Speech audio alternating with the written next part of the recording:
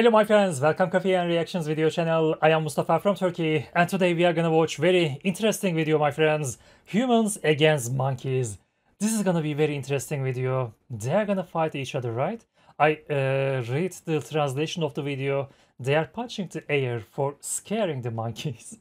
okay, and I remember that there are a big fight before um, humans and monkeys. It was very problematic before, and I hope everything uh, is all right in this city. I don't know which city, by the way. Uh, we are gonna watch this video from PPTV HD 36 YouTube channel. Thank you, my friends, for this video. เพราะฉะนั้นยังอยู่ที่ภูเก็ตแต่คราวนี้เป็นเรื่องของลิง ไม่ใช่แค่ที่ลบบุรีนะฮะ ที่เจอปัญหาลิงเยอะประชากรเยอะที่หลาย ๆ จุดโดยเฉพาะสถานที่ท่องเที่ยวอย่างเมืองภูเก็ตก็เป็นจังหวัดท่องเที่ยว Phuket. He, he said Phuket, right? Is it in Phuket? Come on, we were in Phuket. Okay.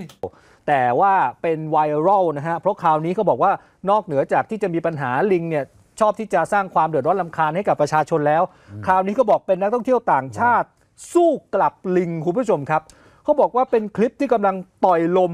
เพื่อสู้ฝูงลิง เป็นยังไงลองดูคลิปนี้ฮะ Come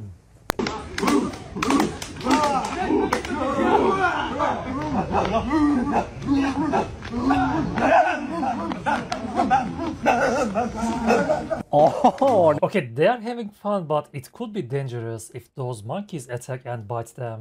It could be dangerous. They they could be more uh, responsibly, right? By the way, there are lots of monkeys here. okay. นี่ อ๋อ อะไรนะต่อยลมนะ คือไม่ได้ต่อยจริงนะ แต่ฮึ่ ไม่ ม ได้ ๆ ต่อยลิงเอออ อ่าเขาบอกอ้าวนายมาเป็นฝูงใช่ไหมเราก็มาเป็นกลุ่มเหมือนกัน แล้วก็นี่ฮะลิงมันก็คงงงๆเฮ้ยอะไรกันเนี่ย ลิงอาจจะไม่เคยเจออะไรแบบนี้ครับนะครับก็ก็แชร์กันนะฮะเป็นไวรัลนะครับ ก็บอกนี่คือกลุ่มนักท่องเที่ยวต่างชาติเป็น 10 คน รวมตัวกันต่อยลมเป็นสัญลักษณ์ แล้วก็ทำเถียงทำเสียงขู่ใส่ฝูงลิงนะฮะบริเวณเขาโต๊ะแซะ ซึ่งเขาบอกว่าจุดนี้เนี่ยจะเป็นสถานที่ที่หลายคนจะมาออกกำลังกาย อยู่ในอำเภอเมืองจังหวัดภูเก็ตนะครับ ปรากฏว่าดูดูพวกลิงมันดูงงๆนะปกติลิงมันอาจจะเข้ามารังควานใช่ไหม แต่พอเจอกลุ่มชาวต่างชาติกลุ่มนี้มันชะงงักไปฮะ And look at that innocent monkeys. They are watching the people. They are thinking that what are these crazy humans doing? What are they doing this? บางตัวก็หนีนะฮะชาวเน็ตก็เข้ามาคอมเมนต์กันนะฮะ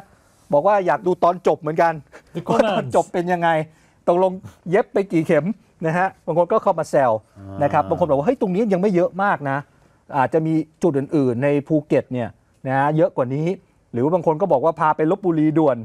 เมื่อช่วงเย็นที่ผ่านมานะครับ ผู้สื่อข่าวก็เลยลงไปตรวจสอบซะหน่อยที่เกิดเหตุนะฮะศูนย์สาธารณะเขาโต๊ะแซะนะครับว่ามันเยอะจริงหรือเปล่า เจ้าลิงตรงนี้เนี่ยบรรยากาศโดยทั่วไปในลักษณะเป็นสวนสุขภาพ ก็จะมีคนที่มาพักผ่อนหย่อนใจนักท่องเที่ยว ทั้งคนไทยต่างชาติ มาออกกำลังกายกันนะครับ บางคนก็มาเป็นครอบครัวมาถ่ายภาพ กลุ่มลิงที่ออกมานั่งอยู่บนถนน แต่ก็ไม่มีใครให้ There are really lots of monkeys here.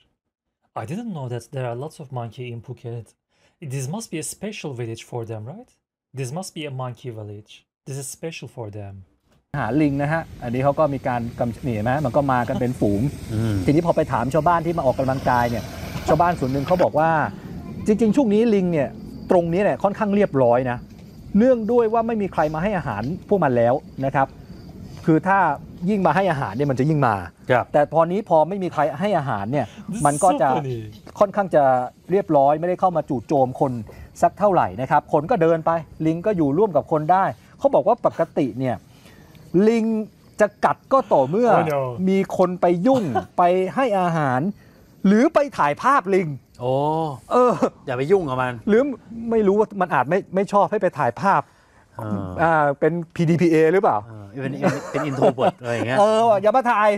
ก็บอกว่าถ้าไปถ่ายภาพลิงบางตัวมันจะกระโจนเข้าใส่เลย หรือบางคนถ่ายไม่สวยเนี่ยดึงมือถือทิ้งเลยครับนะฮะอันนี้เขาก็แซวกัน แล้วส่วนใหญ่จะเป็นชาวต่างชาติมากกว่าที่มาแล้วก็แบบไปเล่นพยายามจะไปเล่นหยอกล้อกับลิงนะครับคนไทยเนี่ยเขารู้เขาไม่ค่อยเข้าไปใกล้นะครับพอโดนกระชากเนี่ยบางทีอาจจะโดนลูกหลงโดนลิงขมั่มเข้าไป บางคนอาจจะโดนลิงกัดเข้าไปได้ แต่ด้วยความที่ช่วงนี้นักท่องเที่ยวต่างชาติอาจจะไม่ได้เยอะนะฮะลิงส่วนใหญ่มันจะอยู่ด้านบนนะตอนเนี้ยมันเรียบร้อย ครับ เพราะว่าไม่มีใครให้อาหารอืมตอนนี้ก็คนที่ตอนนี้มาวิ่งอะไรอย่างเงี้ยนะแล้วก็เดินปกติอยู่ร่วมกันลิงอย่างเงี้ยค่ะ ครับ แล้วเคยกัดใครบ้างไหมพี่ มันจะกัดเมื่อ มีคนให้อาหารแล้วก็ต้องการถ่ายภาพ อืมถ่ายต้องภาพ การถ่ายภาพเสร็จแล้วก็ภาพไม่สวย ก็ดึงเอาอาหารออกแล้วก็ลิงก็เลยบางทีจังหวะนะครับลิงก็ต้องการจะให้แย่งอาหารอะบางทีมาแย่งโทรศัพท์บ้างอะไรบ้างอย่างเงี้ยจะถ่ายโดยมากจะเป็นภาพฝรั่งแหละครับก็เห็นปลาอยู่บนหัวแต่ว่าบางคนเขาก็เป็นความติงเหมือนกันนะรู้สึกชาวบ้านบางส่วนเขามองว่าไอ้คลิปที่ออกมาที่ฝรั่งเขาอ่าอาจจะทำให้ฝึกต่อยลมเนี่ยบางทีอาจจะไม่เหมาะสมนะยิ่งไปกระตุ้นให้ลิงมันดุร้ายหรือเปล่าเหมือนไปยั่วมันอ่าเหมือนไปยั่วทำให้มันแบบ กลัวแล้วก็อาจจะยิ่งทำร้ายคนเออมากกว่าเดิมหรือไม่ เพราะปกติคนอื่นทั่วไปก็ไม่ได้ไม่ได้ไปทำอะไรแบบนี้ก็อยู่เฉยๆเขาบอกว่าเขาวิ่งบนเขาโต๊ะแซะมาแล้วสี่ปีเนี่ยไม่เคยเห็นคลิปอะไรแบบนี้นะฮะเพิ่งเห็นเป็นครั้งแรก ก็แนะนำว่าคนที่มาเที่ยวบนเขาโต๊ะแซะเนี่ยก็อยู่ต่างคนต่างอยู่อะครับก็อยู่ห่างๆเนี่ยอย่าไปให้อาหารอย่าไปแตะตัวนะครับ ไม่งั้นเดี๋ยวมันจะทำร้ายได้ ก็ปกติที่ลิงจะทำร้ายคนที่ขึ้นมาบนเขาเนี่ย มักจะไปให้อาหารหรือไปแหย่มัน แล้วลิงก็จะแย่งอาหารกันเองก็มี ครับอืมคือถ้าเกิดไปแบบนี้นะ แต่ไปลบบุรีตอนที่เขายังไม่ได้จับลิงไปอะอืมตอนนี้เขาเริ่มเริ่มเอาไปจัดการแล้ว But these guys are provoking the monkeys. If they bite them, uh, they should not complain. Because if you provoke them and if they bite you, it means that you deserve that. Okay? So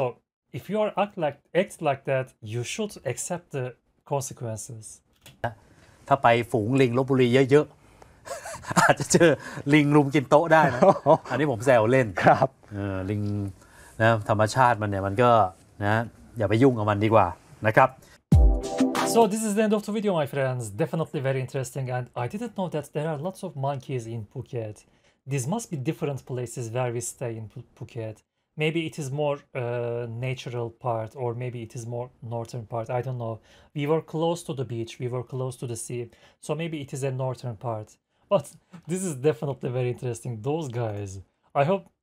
everything will be alright. I hope there is no fight humans against monkeys. I hope they can live uh, peacefully forever. Thank you PPTV HD36 for this video. Thank you my friends for your suggestions. Have a nice day. Take care of yourself and let's see you in the next videos. Bye bye.